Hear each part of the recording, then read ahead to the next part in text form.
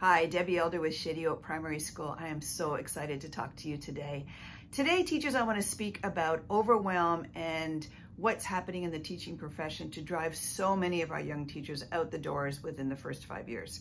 And what we have learned in our research is there's a couple of factors. One is administrative needs and desires.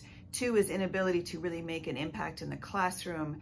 And three is just overwhelm with what is required of them on a daily basis. We at Shady Oak Primary School have come up with some suggestions and some solutions that I'll be sharing with you over the next week.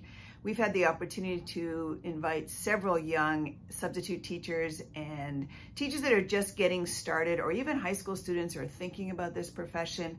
And we've invited them and introduced them to a world that doesn't have overwhelm or stress. And I really would like to share how to do that for you and your classroom. Uh, I look forward to hearing from you. Please subscribe and share and follow and like and give me your comments. Let me know what's really keeping you up at night so we can address it and make sure that we can give you the solutions you deserve.